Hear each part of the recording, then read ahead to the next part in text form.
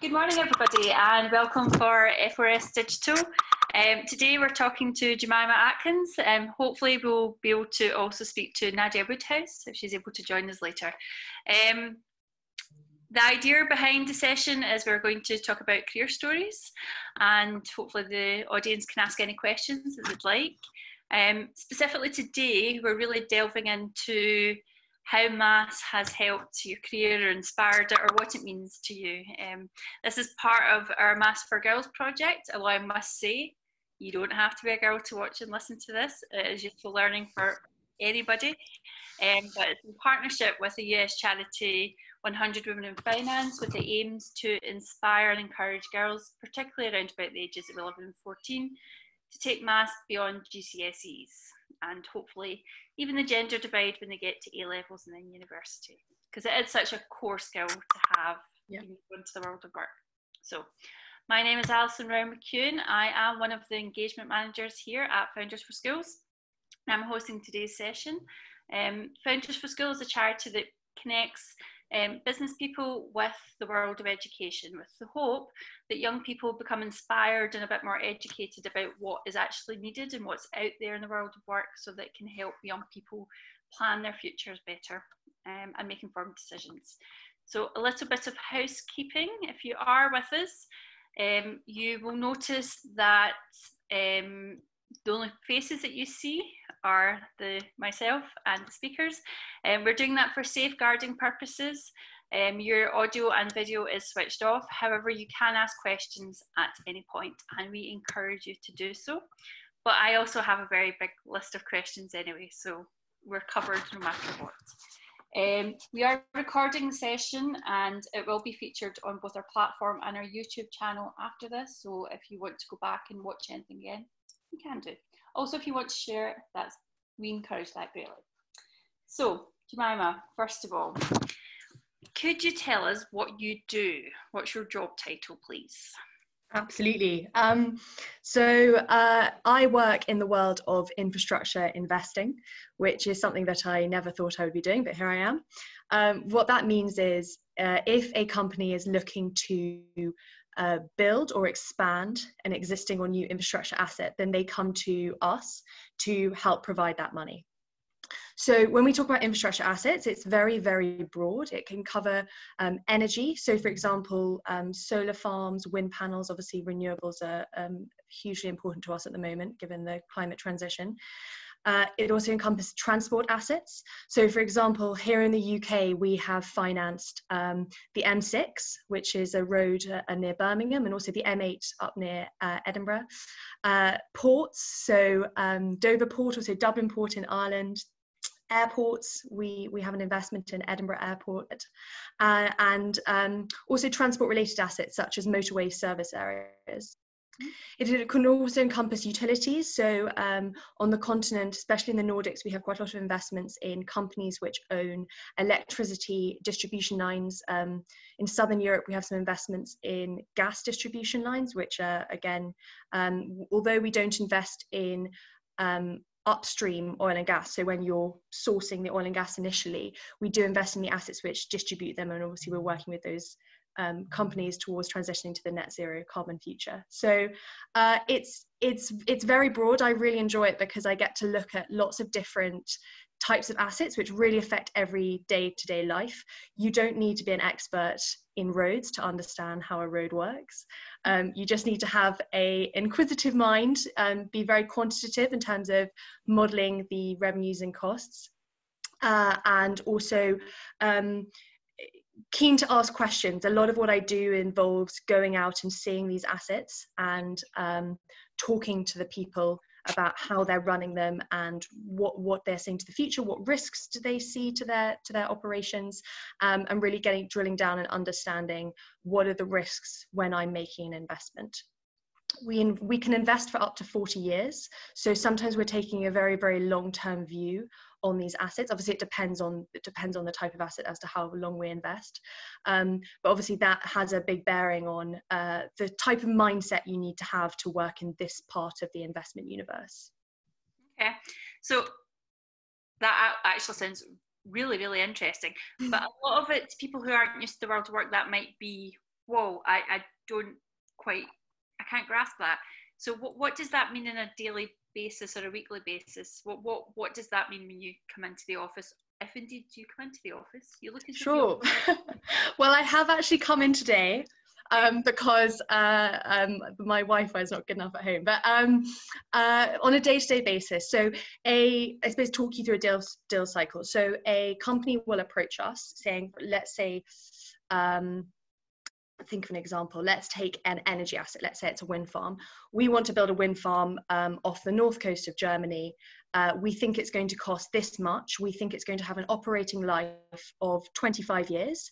And the German government, this is completely hypothetical, has said that they are going to pay a fixed price for the power, the electricity that that wind farm generates for 20 years.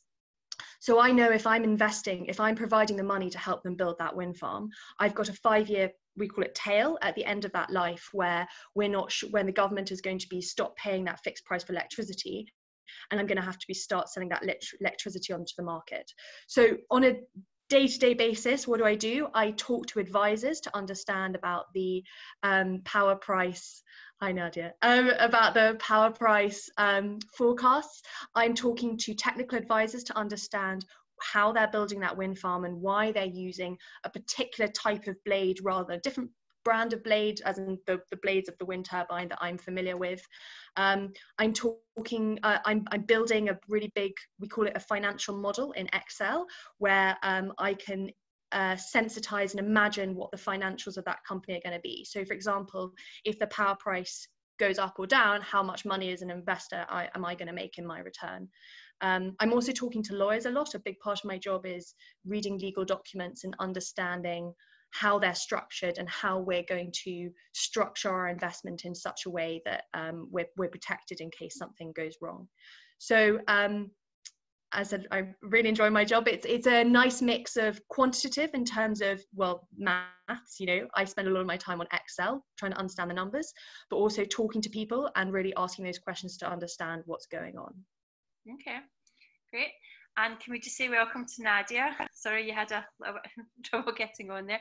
So, um, just to kind of recap, Jemima just told us what it is she does. So maybe if we start with the same with you, if you could tell us what your job is then, please, Nadia. Yeah, absolutely. Can you hear me okay?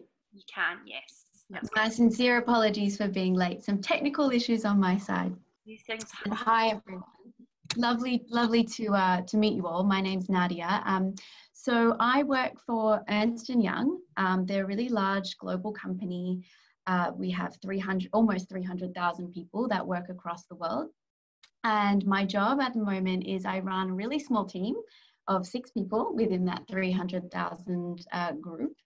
Uh, and we, my role is to help create um, articles and short videos and films for uh, business leaders, CEOs, and um, board directors to understand kind of future trends, to think about how to run their businesses as we kind of navigate our way through changing dynamics of the economic system and how we kind of uh, build kind of resilience after this COVID pandemic. So um, that's kind of what I'm doing right right now. And uh, I, from a, I don't know if you want to go to go into my the sort of history, but you know, as a from a you know, currently what we're doing right now is um, is doing a lot of research, a lot of data analysis, and a lot of writing um, and producing these these sorts of content. I'll leave it there and you can ask. Yeah, we will. We'll go back to the, the how you got there. Um, okay, one of the other questions we asked Jemima was, what does that mean on a daily basis? So what, what do you do on a weekly basis? Because sometimes jobs, it's not a daily thing that you do that's the same. So what, what does that look like? What happens when you go into the office in the morning? Yeah, well, currently my office is my bedroom. Uh, and in, in this world, we, we're not going back to the office just yet. But when I was going into the office, and even um, now, I'm usually on the phone talking to many different, um, what we call stakeholders within the EY business. So a lot of different business uh, leaders who want to understand what we're writing about, what the current trends are in relation to, say, climate change or artificial intelligence um, or you know the future of work. That's a really hot topic right now. Um, I will spend probably half of my day talking about that. Um, and the other half of the day will be managing my team members, will be reporting to more senior people. Um, I do a lot of sort of operational and budget type work. So um, to keep my team running, we have a budget, we have forecasting that we have to uh, deliver on every month. I actually have a meeting about that later today. Um, and so it is a mix of a whole lot of different skills, both from a people um, skill uh, basis, but also from a from a quantitative um, uh, basis. We do a lot of. Uh, I will often try and take some time out of my day to kind of walk away from the computer and sort of have some thinking time about sort of the issues that we're we're thinking about and and the outcomes of some of the research that we've done. So um, I will then go ahead and, and review kind of the you know survey analysis and survey data and think about ways to present that in a way that would make sense to the business community. Okay, so you both sound as though you take quite big and large concepts that are out there, sometimes quite ethereal and not necessarily quite hard, but you have to somehow bring it down and use numbers mm. to make it all work. That's that's question when you were at school and on your way through your career, was maths always a passion for you, or is that just something that you've developed as you've gone through your career and the, through the different jobs that you've taken to get there? And sure. I you can start as. Um, so uh, yeah, I've always been I suppose quite I've always been on the science side of things. Um, so for A levels, I studied maths and uh, economics and biology, and then at university, I studied natural sciences. I went to Durham University in the north of England, um, so what that means is I spent my dissertation in South Africa running around after giraffes and blesbok and kudu, particular types of ungulates, um, trying to understand why they were grazing in certain areas, um, which is obviously completely unrelated to infrastructure. And um, but that's not the point. The point was it was a very, uh, it was quite a mathematical degree because in studying those animals, I had to understand why they were uh, operating in certain areas and again like building models to try and for example, if we cut the grass in one area, would that mean the animals fed in that area more? Those kind of basic high levels. Um, I then, when I left university, I uh, worked uh, in a large American investment bank for a couple of years before moving to my current role. And um, I think when I was interviewing for that graduate job, you know, my first job out of university, the, the immediate question was, well, why did you study biology? How is that relevant to a job in banking? I think the key answer to that question is it's not relevant, but it had very, very transferable skills, probably the most crucial of which was maths. And without having done quite a numerical degree where I was really trying to under, you know, uh, just take a understand big data sets and apply statistical analysis to them, um, I probably wouldn't have got that first job and then be where I am now. Okay, and Nadia, what about you? Yeah, I um, I've always had a, a passion for maths. I think I was trying to remember, you know, where it stemmed from. And I think for me, even just the process of um, of going through problem solving, there was always for me like it felt good to arrive at a destination when you know when you've solved the, mm-hmm. the problem through math. I felt that um, yeah, I've always had this kind of a, attraction to it. I, I studied that. Um, you can probably tell by my accent, I'm Australian, and so I studied in Australia, which we and we have probably different sounding courses, but essentially they're the same. I did um, physics um, and and and quantitative maths when I was younger, um, and that has always kind of transitioned or flowed, just like Jemima, through to my university degree. And actually, we have a very similar background in that I also studied um, uh, science at university, earth and environmental uh, sciences, was always really interested in the land and natural systems and processes. So Alison, when you mentioned that idea of understanding kind of ecosystems and how things kind of fit in together, um, absolutely maths was always a, a, a part of that. Um, I did a lot of technical kind of field surveys, just like Jemima. Instead of running around in South Africa, I was running around in a small island called Rottnest Island, running after quokkas, which are very cute and small, um, and uh, and counting, you know, and and uh, extrapolating what their population might be on um, on the island. And you know, I obviously don't do that anymore. But that idea to uh, involve kind of critical thinking and using some kind of science based techniques has always served me well throughout school, throughout university, and now into this career. Um, using, I guess, using a foundation of, of maths in, in many different ways has helped me to become more of a critical thinker and problem solver, I think. Okay, it's quite interesting that both of you did very hardcore science subjects at university. You chose that, and that, I mean that's one of the issues that the Maths for Girls project is looking at is to try and encourage girls to take that forward so they can go into different careers. So, did you find when you were at school there were you were unusual for taking that route, or was it perfectly normal within your social circle, or did you feel you there were any barriers to you getting there, or or was it all just perfectly normal? That was just what you did, and it's what your passion was. So that's where you went. I don't think I was normal. and and probably and it's a good thing, right? Like I think we're all have we all have fabulous unique skills. I was I think I was we had 2 out of 10 in my physics physics class that were girls.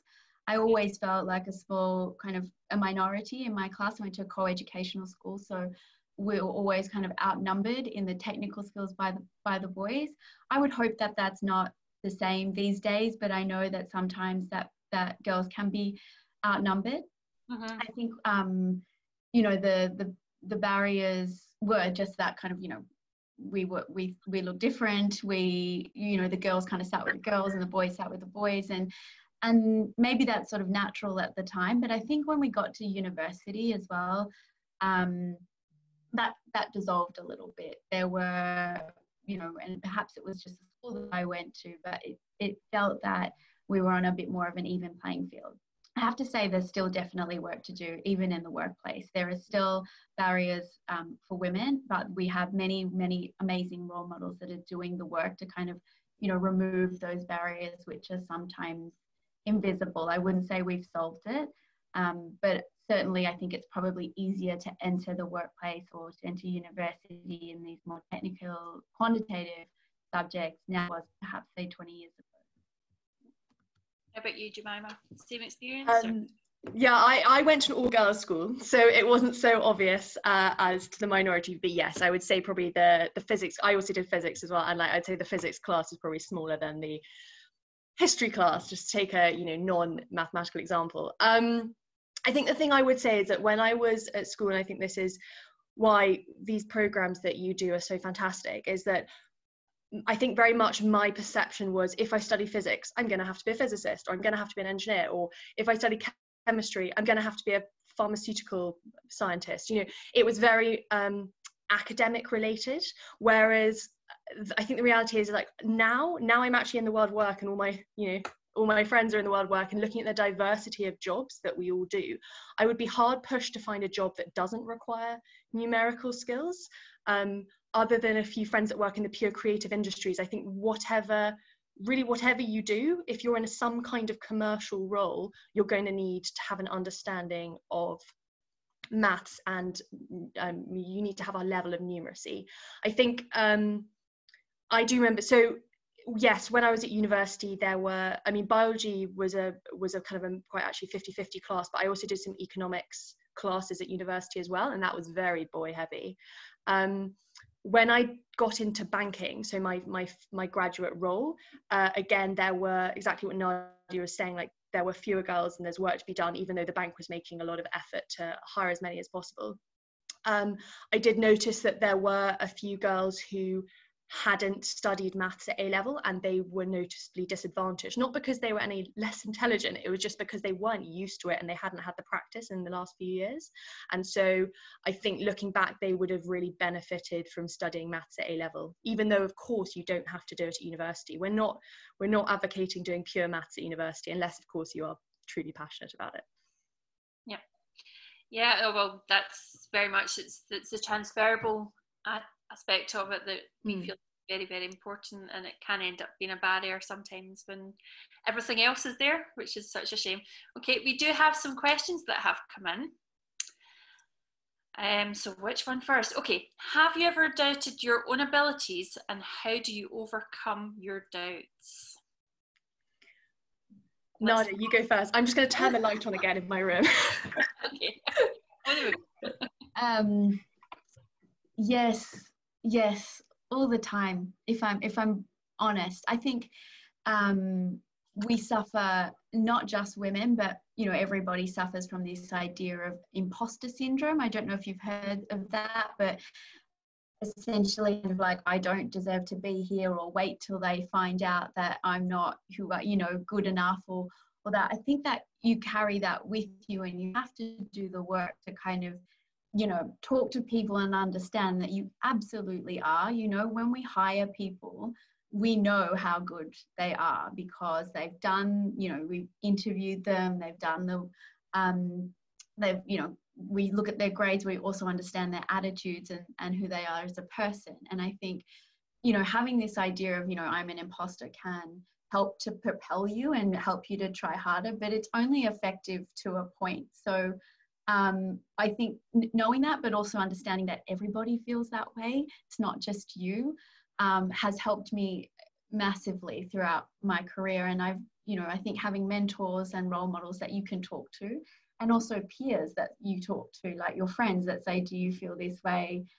Just knowing that you're not alone in that can can go miles to helping you along, I think, or it's helped me essentially. I, w- I would echo that. Yeah, me too, to be honest. Where does your passion come from and what do you do when it dips? That's one thing young people are always told to do find your passion.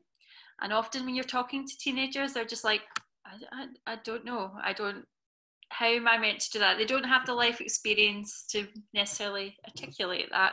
So how, what, what is your passion? How did you find it? What do you do when it dips? Um, I well, as I said at the beginning, I if you had told me, uh, so I graduated uh, four, four years ago. If you told me when I graduated that I'd be working a job building airports, I would have laughed. Um, but it's I love it. It's fascinating. I love working with assets that everybody can relate to, that everybody can use. Um, uh, I completely agree with you. How on earth do you know what your passion is when you're at A level at university or even i mean i don't know what i'm going to be doing in five years time. It might not be infrastructure it might be something completely different. So i think my advice in that in response to that question is just go don't worry so much about the future just do your best as you can in your current role. Do it to your absolute maximum effort and opportunities will rise from there. And also exactly as nadia said like network you know take the time to attend industry events, speak to people, go for coffees because it's through volunteer for ad hoc projects because it's through doing those that you'll meet new people and you might new, um, find a completely new career area that you didn't otherwise know existed. Yeah, I mean, to- totally, Jemima. I think, you know, I didn't know what I wanted to be. I started out as an accountant. I did that for a few years. It was a great sort of like, but that wasn't my passion ever. It was a, a, stepping stone to get me to the next place, to the next place. And then I kind of, I mean, I've always gone back to nature, gone back to my love for dinosaurs. Um, that is that is kind of the, what has fueled me, and that's why I've pursued this kind of career in kind of you know in climate change, sustainability, but also merging it with business issues. And I feel like sometimes it's not going to be abundantly clear. You know, the the pathway most of the time. A lot of us haven't figured it out yet, but there will be pla- kind of intersections or places where you'll find a niche or something that you'll you go right. That's really amazing. You know the the the intersection between art and maths or or whatever it is or you know I think there's not always just this defined kind of pathway. I think to answer your question, when my passion dips, it, it is really hard. You have to look out for your for yourself. Sometimes working um, is not all it's cut out to be. It's not super glamorous. It's it's awesome because you can make a change, um, but you have to look after your mental health as well and take time to just you know look look after yourself, step away, whether it's from from the textbooks or from the screen. I think that reconnect for me anyway reconnecting with nature going for a walk is a really simple way to just go right what am i doing and and and getting some headspace as well because we can get so so busy all the time Okay, um, and some good tips there. Uh, we've not got much time left, and this is quite a big question that I'm going to ask you. So I'm really just looking for the first thing that comes into your head with it. Okay. But what are the jobs of tomorrow, and how do we best prepare for them? So honestly, first thing off the top of your head, what, what, what do you where do you think, especially in your industry, where do you think jobs are going? Um, it, for me, it's obviously sustainability. Um, I'm I'm working on a so where at Allianz Global Investors, we're building out our presence in emerging markets and we're making investments in very low income countries to help make an impact. And um, the money is so desperately needed. There are trillions, there's a trillions of fund, US dollar funding gap between the money that's needed in these countries and what we have in the developing world. So I'm not saying you need to go and work in Kazakhstan or Madagascar to go and do that job, but you can, you, it's areas of the Western world intersecting with those um, helping development that I think is really important. Okay. What about you, Nadia? I've got two things. I would narrow down definitely. I agree with Jemima, and I would even narrow down even further to understand how do we, we have you know a finite planet. So how do we operate within the confines of this one planet? and we waste a lot. So how can we turn waste into resources? So and that's in many different aspects. So I would kind of think about that. Um, and the other, I guess the other thing would be around um, digital. You know, we're we're in this world of digital, and we're already here, and probably is a, a job of today. But I think it will just continue to be to be a role of tomorrow. Okay, great. Okay, so that's that's the last of the questions answered. I have one more question for you both what would be your top tip to yourself when you were back in school? Oh, I just say, um, sorry, to my mom. Just, uh, no, go ahead. I, I honestly would just say, just honestly believe in yourself and back yourself. Like there's so many times where I was like, oh, I can't do this. I'm not good enough. But you know, you will find great people along the way to help you. But just know that you are absolutely fantastic and and keep on going and back yourself okay great thank you jemima um, i would say get involved every music sports position of responsibility charity event committee just go for it like as many hours as you have in the day do as much as possible because um, I believe that you you gain as much if not more from those activities you, you've broken up a little bit in my but I would echo that definitely. And do maths. Okay. uh, okay. Well, thank you very much, both of you, for that. That was that was really interesting, and I enjoyed that greatly. Um, for everybody who's potentially listening, our next sessions are on Friday, um, where one of our guests is actually going to be a sea captain which is a little bit different. So we hope to see you there. Um, thank you again, Jemima and Nadia. If you want to follow us, you can do it across multiple social media channels. Basically, I think the only one we're not on is TikTok at the moment, so you can find us wherever. And um, we will be putting this recording on our platform and on our YouTube channel. So if you want to go back and listen to anything, please do. Thank you both, and goodbye, everybody.